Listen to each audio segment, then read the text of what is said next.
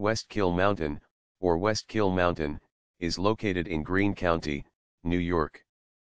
The mountain is named after the West Kill stream which flows along its northern side, and is part of the Devil's Path range of the Catskill Mountains. To the east, West Kill Mountain faces southwest Hunter Mountain across 800-foot deep Diamond Notch, to the west, West Kill faces North Dome across Mink Hollow. West Kill Mountain stands within the watershed of the Hudson River, which drains into New York Bay.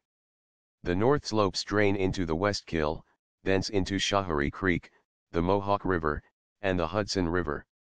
The southeast slopes of the mountain drain into Hollow Tree Brook, thence into Stony Clove Creek, Esopus Creek, and the Hudson River.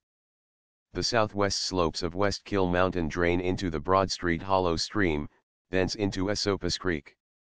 West Kill Mountain is contained within the West Kill Mountain Wilderness area of New York's Catskill State Park.